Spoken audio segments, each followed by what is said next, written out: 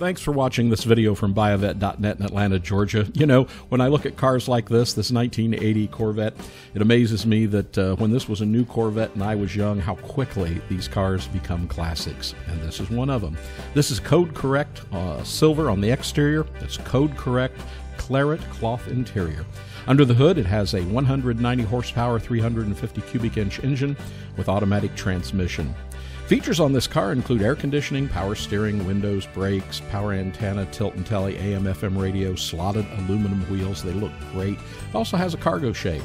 This car we know was originally assembled on May 19, 1980, and this 1980 Corvette is in good condition.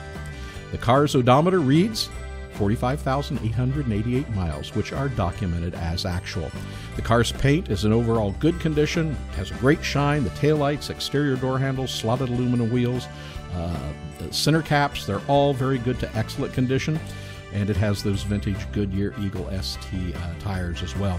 The, the, interior of this car shows in very good condition with this cloth seats, and that was rare for this year car, this Corvette. Uh, it has very good gauges, uh, seat belts, carpet, good condition. The dash pad is, looks great as well and uh, it has the correct appearing AM FM radio that is in place and a uh, vintage uh, keypad style aftermarket alarm has been installed at some point. So, this is a beautiful car, beautiful, beautiful 1980 uh, Corvette Coupe.